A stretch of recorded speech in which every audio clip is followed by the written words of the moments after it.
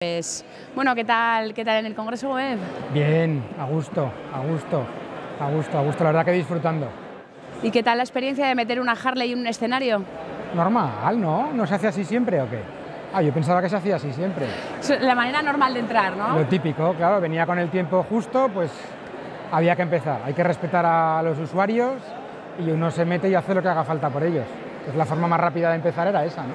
Bueno, aparte y algo de... les gustó aparte de la labor del efecto wow, que ha sido tu entrada, has, hecho una labor de, hacer un, hilo conductor alrededor de todos los temas del Congreso Web. En realidad está todo un poco relacionado, ¿no? Claro. Es que al final, en el mundo real o en el mundo virtual, lo importante es, con diferentes piezas, construir historias. Porque si no, son cosas que están sueltas, deslavazadas, y no consigues encontrar el hilo. Y lo importante es ser capaz de construir algo con todo lo bueno que te está ocurriendo y de todo ello montar una historia. Y eso ha sido mi papel, básicamente. Construir algo es una cosa que me hace mucha gracia cuando se trabaja online, porque en realidad esto es como los agentes de bolsa, ¿no? que se hacen de oro sin fabricar nada. La gente en social media y tal no fabrica nada. Sí, emociones. Claro, nos estamos obsesionando con los datos, con los números, y nos olvidamos que somos personas. Y las personas vivimos en un entorno emocional, estamos influidas por emociones y por expectativas. Y las marcas lo que tienen que hacer es cubrir o exceder incluso idealmente esas expectativas. Y eso es construir, eso es construir marcas, que es a lo que nos dedicamos. Además, tú eres un constructor incansable, o sea, tu vida es prácticamente una maratón de proyectos lanzados, algunos se han quedado por el camino, pero es un no parar, ¿no? Pero es que no te queda más remedio, no te queda más remedio, al final somos individuos y funcionamos como queremos. Yo tengo la suerte de poder trabajar para mí mismo, bueno, mejor dicho, para mis clientes. Eh, entonces, esto eres tú el que tienes que hacer que esto se mueva, porque por ti no lo va a mover nadie.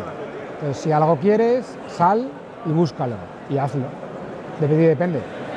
hay, hay, una cosa que he leído que has escrito que, me ha impactado mucho la, frase y de hecho bueno, la, tengo subrayada. Eh, las redes sociales son una oportunidad, no una obligación. Sin duda, sin duda. Cometemos el error los que nos dedicamos como consultores en este medio a hacer entender que hay que estar. Y no es verdad, no hay que estar. Hay que estar si tiene sentido. Si no, ¿qué sentido tiene? ¿Qué sentido tiene para Puertas Gómez, Ladrillos Martínez o Tuercas Benítez estar en Facebook? ¿Para que me hable de tuercas? No. Otra cosa es que sea capaz de construir una historia en lo que yo suelo insistir a mis clientes los alrededores de su producto, los alrededores de su marca. Entonces puede que sí, pero obligaciones en esta vida, muy poquitas, muy poquitas. Da la sensación de que como ahora hay que vender, ¿no? la, única manera de venta ahora, o, quizás un nicho de, venta ahora muy interesante es Internet. ¿no? ¿Qué, le podrías decir a un cliente que te viene con una historia que no se vende y te dice, yo quiero un Facebook? No va a vender, que se lo quite de la cabeza. Porque tradicionalmente hablamos de las cuatro P's del marketing, del producto, el precio, el lugar y la promoción. Ahora mismo hay que meter una quinta P, incluso una sexta P. La quinta P son las personas, pero es que la sexta es la paciencia. Esto no funciona de hoy para mañana. De hoy para mañana puedes comprar, entonces llegas a la notoriedad. Pero hoy por hoy, por lo menos en mi opinión, es mucho más importante la reputación que la notoriedad. Notoriedad la consigues mañana saliendo desnudo en la Plaza del Pilar. Van a hablar de ti. ¿Van a hablar bien? No confundamos que hablen con que lo que digan de ti sea lo que a ti y a tus objetivos, porque tendrás objetivos, ¿no? Le interesan. Entonces, cuando te encuentras con un cliente que te propone algo que, no funciona, prefieres igual desestimarlo que, decir, oye, pues tiro para adelante y... Obviamente, porque están sus intereses y mis intereses, están los de los dos. Para trabajar tiene que existir una sintonía de objetivos porque si no, ¿a qué estamos jugando? Si te llaman es porque consideran que tú puedes aportarles cosas. Lo que se supone es que entonces puedes aportarles cosas y serán respetadas y aplicadas. Y venimos con ideas distintas, pero es como si yo pretendo decirte a ti cómo hacer esta entrevista. Yo no sé hacer entrevistas. Claro, estamos hablando siempre del branding, del branding de las marcas, el branding de los clientes, pero es que también hay un branding del asesor, ¿no? Sí, bueno, existe el branding personal, la marca personal y todo esto, pero al final es ser tú mismo, ser honesto, tener claros unos ciertos principios y mantenerlos. aunque a veces haya que decir que no a proyectos. Creo que es más justo contigo mismo y más limpio. Y al final el karma existe, el karma funciona, ¿no? Y si haces las cosas bien, esto incrementa tu reputación, por así decirlo. Y quien te llama es quien de verdad tiene interés en entender el, funcionamiento. Es el, fast versus good en inglés, no es lo rápido frente a lo bueno. Aquí hablamos de, de bueno. Y esto quiere decir que mañana no vas a tener 10.000 amigos en Twitter y vas a vender. Mañana no va a ocurrir esto. Y si ocurre, normalmente es porque has hecho algo oscuro, por así decirlo, que existe. Eh, dices fast versus good, pero realmente ahora las empresas que están priorizando. Vender, porque es una necesidad. El problema es llegar aquí como último recurso, esperando que por tener presencia digital se van a solucionar todos los problemas. A mí hace mucha gracia cuando, por ejemplo, un cliente del, no lo sé, sector hostelería o restauración, te vienen y te dicen, joder, es que tengo un montón de críticas negativas. Pues ya, pero ¿y son ciertas?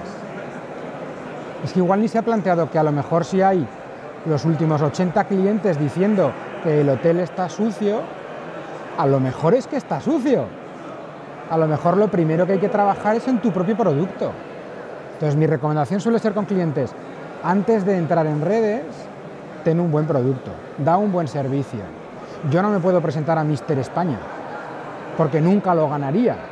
Y si me presento y me echan en primera ronda, nunca podré enfadarme con la organización. Nunca podré decir, los concursos de belleza no funcionan. Lo que no funciona es mi físico, por lo menos en ese aspecto. Has hablado de, presencia en, buscadores, presencia en Google en este caso. Eh, muchos de los ponentes que han pasado por aquí, sobre todo gente en SEO, eh, hemos estado hablando de que bueno, lo que Google te da, Google te lo quita, ¿no? que hay una especie de, carrera que lo mismo es con que contra, ¿no? Sin duda, y no solamente en Google, está ocurriendo lo mismo en medios sociales. Hay una gran diferencia entre tener tu propio lugar, ser propietario, por así decirlo, o estar de alquiler. En Facebook, en Twitter, en el resto de redes estamos de alquiler. Y en cualquier momento nos cambian el contrato y tú no puedes hacer nada y toda tu casa bonita que te has puesto allí con tus muebles, tus cortinas, llega un momento del propietario y te dice, no, no, que ya no, que ahora si quieres entrar al baño vas a tener que pagar. Ya, pero que es que es mío, sí, sí, pero ¿de quién es la casa? Ostras, es verdad. Entonces hay que potenciar, pues es mi opinión, los medios propios, que son, por ejemplo, un blog o tu web, o, o definir dónde quieres estar, ¿no? Hay que trabajar muy mucho en los medios propios y lo que luego hay que intentar es desarrollar lo que suelo llamar el rastro digital, que lo que hacemos es incentivar a nuestros clientes a través de un magnífico servicio a que sean ellos los que hablen de ti. Si una persona que tú conoces te habla bien de algo, normalmente, estadísticamente comprobado al menos, tiene mucha más credibilidad que si es la misma persona que ofrece el servicio la que te lo está contando. ¿Qué te va a decir? ¿Qué va a decir mi madre de mí? que soy guapo, que soy listo. ¿Qué credibilidad tiene? Me estáis viendo, lo de guapo poca. Entonces es mucho mejor que sea otras personas las que hablen. Entonces fomentemos los medios propios, definamos ahí los contenidos, gestionémoslo bien, demos entrada a la gente de fuera y provoquemos ese rastro digital, trabajando en lo que se viene llamando la experiencia social del cliente. Claro, hablas de, como la, diferencia entre el, propietario y el que está de alquiler, ¿no? Tú puedes tener tu propia página web, tu propia tienda online, pero al fin y al cabo eh, los servicios de SEO y de posicionamiento los tienes alquilados a Google. Él es el propietario.